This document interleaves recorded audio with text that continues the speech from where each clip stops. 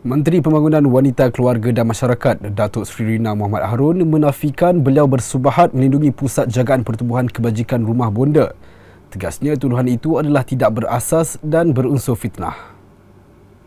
Menurut Datuk Sri Rina, segala tindakan yang diambil oleh Jabatan Kebajikan Masyarakat JKM sejak Julai 2021 ke atas pusat itu adalah berdasarkan peruntukan undang-undang.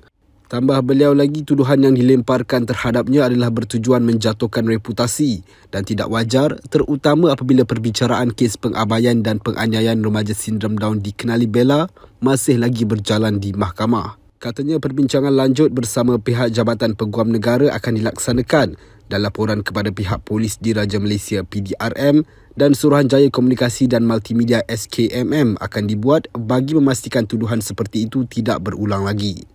Beliau berkata demikian dalam kenyataan media semalam susulan satu hantaran yang dimuat naik di laman Instagram 12 Jun lalu.